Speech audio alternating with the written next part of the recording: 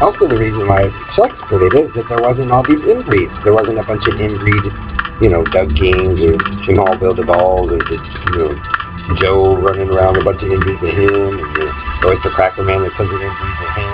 You know, Ellery inbreeds everywhere, Elton inbreeds. So when you guys do all the inbreed thing, you think it was cool and funny. Well, that's why the word sucks for leader, because you guys kept reading it thinking it cool, trying to do it with Negro inbreeds, white purity. That's how desperate you all were for so many years after you guys killed for it and all that. So you know, Dave inbreeds everywhere, and he's running around blaming me and all this shit after you guys, you know, disseminated and wrecked everybody's stuff.